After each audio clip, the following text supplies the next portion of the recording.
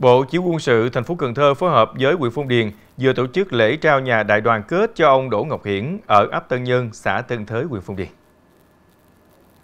Căn nhà có diện tích 134 m2 nền lát gạch men mái lập tôn, trong đó Bộ Chỉ huy quân sự thành phố hỗ trợ 50 triệu đồng, phần còn lại gia đình và người thân đóng góp. Năm 2024, huyện Phong Điền được Bộ Chỉ huy quân sự thành phố hỗ trợ xây dựng hai căn nhà đại đoàn kết cho gia đình quân nhân nhập ngũ có hoàn cảnh khó khăn về nhà ở,